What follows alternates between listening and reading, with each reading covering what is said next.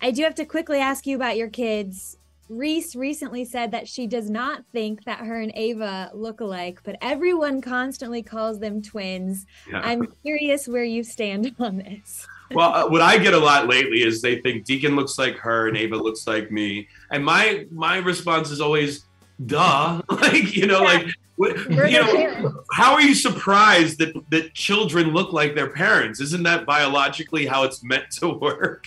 right absolutely they are really following in your guys' footsteps right now i mean deacon was so great and never have i ever no. what kind of advice are you giving to them as they sort of navigate this world well you know i know that he had a lot of fun doing that and acting is something he still may do at times but he's really largely focused on on his musical career being a musician right now he's just started freshman year of college um, you know, so we'll see. These kids, they're lucky enough to have any opportunity they want, um, which is not something that myself or Reese could have said at that age. And we just want them to be happy. That's what you want for your kids. You know, whatever they choose to do is to find a way to be happy doing it. And, you know, we'll see. Life takes a lot of different crazy twists and turns. I can't really predict what either of them will be five years from now, nor do I want to. I just want them to be happy. You're never gonna find him. You sure about that? I watched this movie last night. It was so much fun. Like, what a roller coaster. Um, Matthew, I know that you were super fascinated by this guy and this story. Ryan, how much did you know about this story before signing on?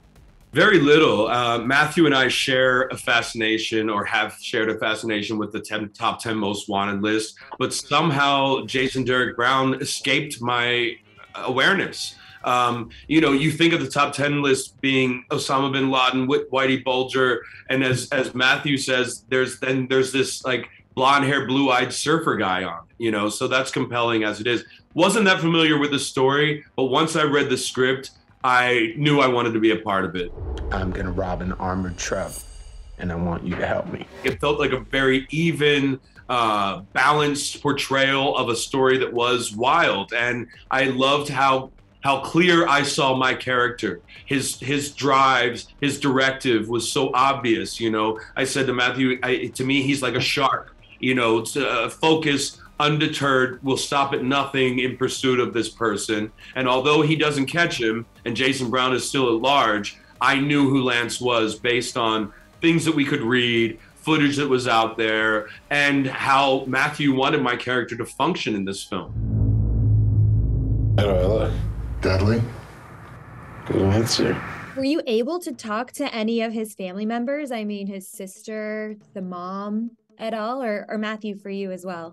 Yeah, that's, you know, I yeah, no, we, I made a specific decision to not. Um, I did do a lot of interviews and research on the movie. You know, there was a lot out there in the public domain about Jason Derek Brown. I did meet some people who knew him. I didn't want the family to influence my take, um, you know, and and make me, you know, see Jason in a different lens. I wanted to be as objective as possible and allow myself to come up with the take that I that I had in the movie. Um, so that was a decision I, I had made. How do you think his family is going to feel? Are they aware of this movie? I think they are aware of the movie. Um, you know, I can't speak to that. At the end of the day, you know, not because I'm not them, right? But at the end of the day, you know, this film is about the dark side of the American dream, a charismatic con man who, you know, ultimately did a very horrendous act. And the movie's goal is to really look at him for who he was, you know, because it's not a movie just about Jason Derek Brown, even though it is all about Jason Derek Brown. It's also right. about, you know, Ryan's character, Lance Leising, who's hunting him down. One of the central questions the film asks is, why do we fall for con artists? Why does this keep mm-hmm. happening? And I think it's an important story to be told. But obviously, you know, it would never be a filmmaker's intention to exacerbate pain or trauma for any person who's represented yeah. in it. You know, we just, we're hoping to tell the story as honestly and authentically as possible. This is our prime suspect, Jason Derek Brown. Ryan, it's so funny because you and Tom never actually share any scenes in person together. Were you guys able to form any kind of bromance or friendship on set? Well, no, actually, no. Matthew intentionally kept us apart. He wanted us to never meet. I have a, I, I have a little frustration because Tom's such a good actor that, like Lance Leising, I never got to catch him and have a scene with him.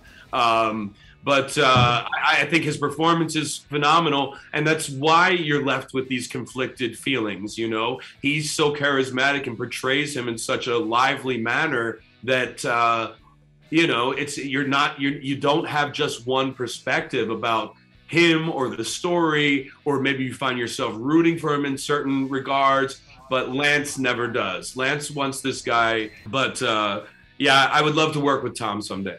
Yeah. Have you given him any advice on being a dad now that he's expecting? Well, that news just came out yesterday, to my knowledge, and um, I haven't seen him since. But uh, maybe we'll have a conversation at some point over the course of this press run.